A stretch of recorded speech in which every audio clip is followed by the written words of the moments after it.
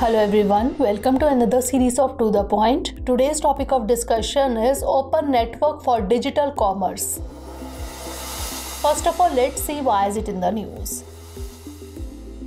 Recently, US firm Microsoft has become the first big tech company to join the Open Network for Digital Commerce or ONDC, a government backed project. Now let's discuss about Open Network for Digital Commerce.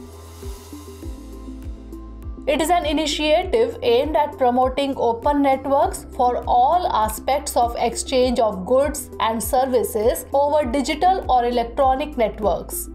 ONDC is to be based on open sourced methodology. It uses open specifications and open network protocols independent of any specific platform. It is being developed as a counter to the current duopoly in the Indian e-commerce market. Currently, the e-commerce market is largely dictated by Amazon and Walmart-owned Flipkart. Now let's understand how does ONDC work. The ONDC platform lies in the middle of the interfaces, hosting the buyers and the sellers. So far, the buyer side interface is being hosted by Paytm, whereas the seller side interface is being hosted by other players like GoFrugal, etc.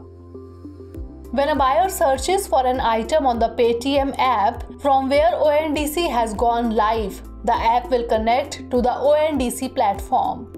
It will connect it to seller side interfaces that will list all the companies from where you can buy the particular item. On ONDC, there will be several other back-end partners such as logistics service providers, enterprise resource planners, e-commerce store hosting service providers, etc. Now moving on to the significance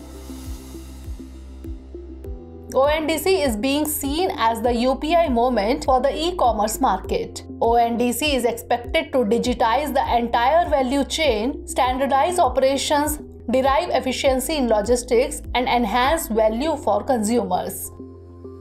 In theory, ONDC may enable more sellers to be digitally visible. It means that for online buyers, it could present increased options at a number of different price points.